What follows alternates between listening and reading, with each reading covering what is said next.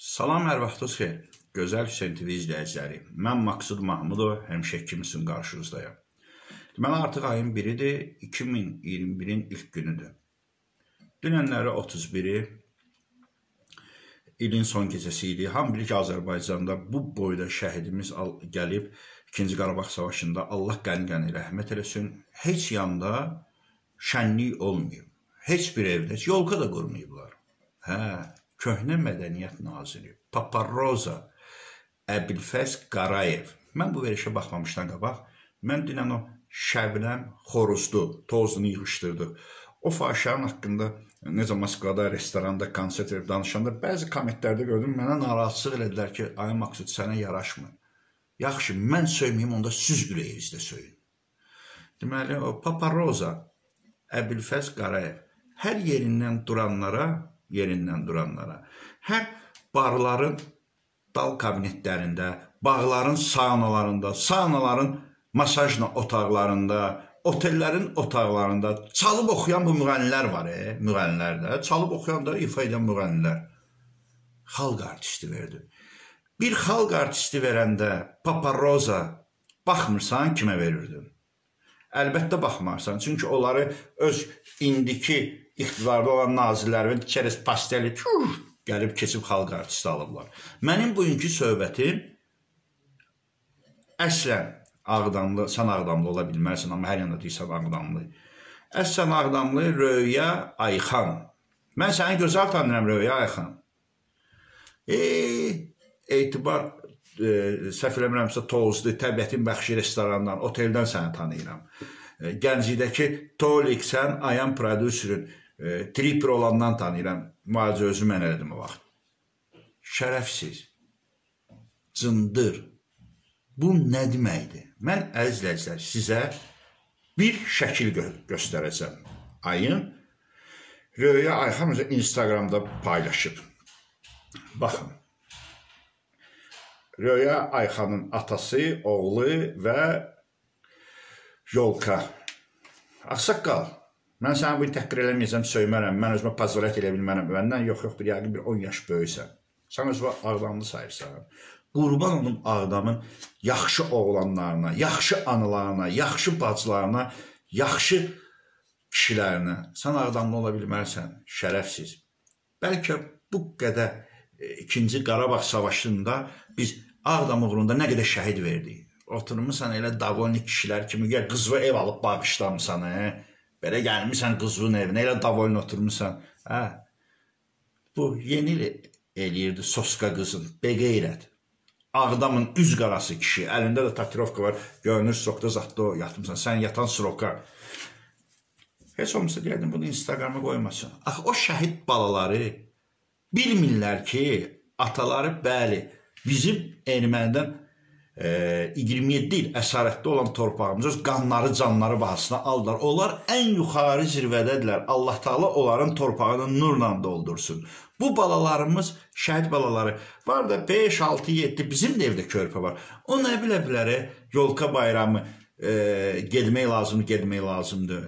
Sən amma davolnik kişilər kimi Soska xalq artisti Röyanın yanında nəvən də uşaqdır. Allah onu salamat eləsin. Ona söz deyə bilmərəm. Allah onun e, ömrünü xoşbəxt eləsin. Bəs sənin mənliyin ara, bəlkə 70 yaşındakı nə deyim, peysər pəzəvəng. O nədir belə? Hələm bu harasıdır? Sən yaxşı kişi olsaydın, sənin padvallarda, e, pastellərdə, sağlarda çalıb oxuyan qızın sənin yanında qoy bunu mənim səsini alacam, buradan musiqi olacaq, səsini alacam. Bunların tam versiyasını mən PAS-TV və şəxsən özümə məxsus olan Maksudla tetatet kanalında göstərəcəm. Qızın evində göbək rəqs oynayır da. Papa sən də kayf tutursan da. Əgər bir xalq artisti ki, göbəyinin yuxarısı göbəyindən aşağı ki şalvarı durub qızı atanın yanında oynayırsa, o atanın qeyrətinə, papağına tüpürüm. Tüh! Bunu da qoyduq bir yana. Əziz Ağdamın üz qarası bu kişi. Sənə bu söz palojnidir. Mən bundan artıq sənə söz deməyəcəm. Qızın soska. Ham bilinir ki, Röya xan ağı qaranı xoşlayır. Nə mənada? Bilir kokos nədir, iynə nədir, gerayin nədir. Əbilfəz Qarayev qeyrət və tüpürüm belə narkomana ya bu peridoz gedib, ya da palasanı çox edib. Belə narkomana ad vermisən sən. Belə kokos iynəyənə ad vermisən sən. Bunun nəyi xalq artistidir? Bu xalqın şortusu deyə. Bu divarikdir, divarik. Bunun bir tayı da Şəbnəm Xoruzlu, onun adını dəyişdi. Şəbnəm Xoruzlu dünənləri Moskvada konsert yeni il e, 30 30 provada eləyirdi. Ora gedən Azərbaycanlılar, bir dənə bunu deyərəm sizə. Bu da qaldı bir yana. Dünənlər yox, sürən gün ATV telekanalı. A, sən nədən əmələ gəlmisən onun rəhbəri? Ay şərəfsiz, ay mənnisiz. Konsert idisə bütün şəhərdə hamı üçün olaydı da. Bilək ki, konsert oldu da. Yox, konsert deyilsə, konsert deyildisə. Ay həmin kanalın rəhbəri bu sosqanı bütün dayı, ə, döşün başın da yoxdur. Şam qalmayıb vurmamısan ki, bir döşün başın olsun. Arxon da yoxdur. Onları əritsən, çıxartsın da, həmin o silikondan bəlkə bir 40 dənə sveçka düzəltmiyorlar, işıqlar sönəndə ora düşsünlər. Bir onun geyiminə baxın da, ATV. O cəhənnəm, bu yolkalar nədir? Bu konsert nədir? Siz hansı şəhidlərə hörmət qoyursunuz? Bu soskadır. Soska nə hörmət bilir? Soska üçün var, kim pol verdi? Soskada başlayacaq. Bu soskadır. Bu nədir bəs? ATV-nin rəhbəri. Xalqa həmin o balaların, həmin o gözü yaşlı analara acıq verirsiniz. Və yaxud gözü yaşlı cavan gəlinlər var, əllərini Bizə görə o torpaqda şəhid qoydular. Ona görə acıq verirsiniz ATV-nin rəhbəri. Hə, sən də Röya Ayxan kimi sosqanın birisisən. Mən dünənləri, əzizləyicilər, bu e, səhv eləmirəmsə Günel Axundovadır familiyası. Pişik Günel deyirlər. TikTokda gecə saat 12-də onun bir əskər qardaşımızdan indi səsini verəcəm. Canlı yayımını gördüm. Röya Ayxan Günel pişik ola bilər. Amma onun mən bu TikTokda baxandan sonra bu hərəkətinə onun özü özü əsl əskərimizlə danışır. Bunun iki gün bundan qabaq yəni. Ləqəbi pişik ola bilər pişikdir, amma onun ürəyi şiirdir o yaxın. O sənə hop eləyib yer. İstəyir bu hərəkətinə, istəyir bu qeyrətinə. İgid əskərlərimiz, aslanlarımız hələ də torpağımızın, torpaqlarımızın keşiyindədirlər. Baxmayaraq ki, onlar torpaqlarımızı, işğalda olan torpaqlarımızı azad ediblər. Bizlərə qələbə sevinci yaşadıblar və ən nəhayət nifrət etdiyimiz 2020 ilin ili bizə sevdiriblər öz zəfərləri ilə. Hay can. Röya Erxan. Bəyənmədiyiniz pişik günələ adı zadı yox da adi bir müğənnidir. Aslan ürəklidir ya. Pişik deyərdim ki, Məhəmməd Peyğəmbərin ən sevimli bir yaratdığı olub. Ən sevimli. Sən Röya Ayxan, sənə bilirsən nə yaraşar? Küçüyə küçük də ya.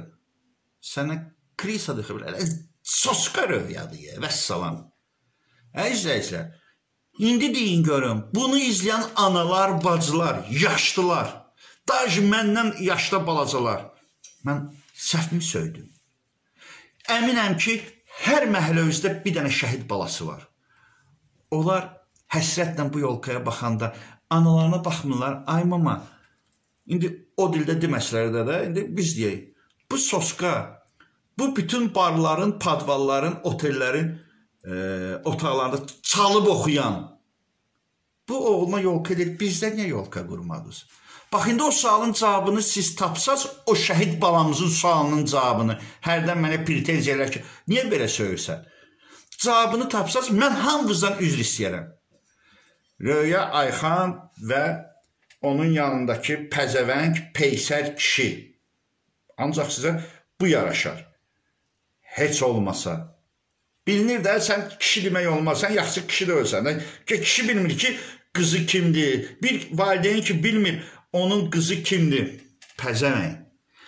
Gələcəkdə nəsə eləyirsənsə, bizim şəhidlərə, ay pəzəvəng, bizim şəhidlərə, bizim qazilərə, bizim həm qıxları çıxmayanlara hörmət qoy.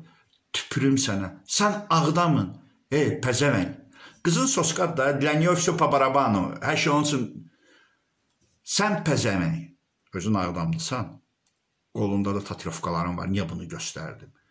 Sən ağdamlı ola bilmərsən. Sən ağdamın üz qarasısan. Bir daha mən qurban olum yaxşı ağdamlılara, qardaşlarına, atalarına, daha özümdən balacalara, eləcə də analarına, xanımlarına onlar qeyrətçidirlər. Siz ağdamlı ola bilmərsiniz.